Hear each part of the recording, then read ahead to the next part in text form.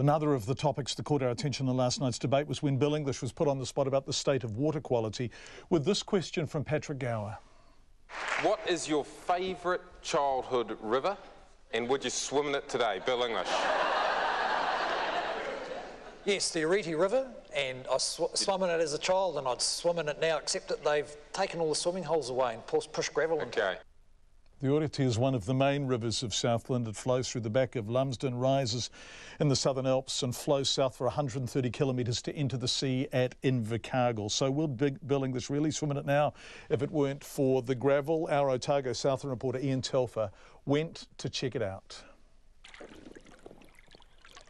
Bill English has really waded into this debate again by nominating the Oreti River as the one that he swim, swam in when he was young.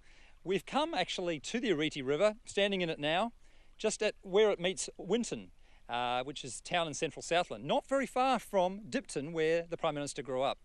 Now, just over here near us is the Winton Bridge, where every year the Regional Council for Southland does a lot of sampling of the water.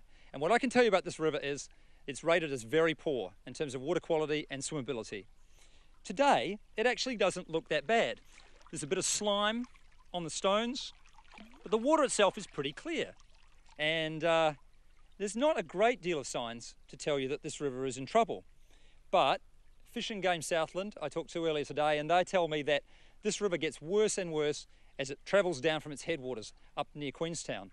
And by the time it gets down to the estuary next to Invercargill, uh, it's thick with mud, so much so that famous cockle beds have been covered with slime.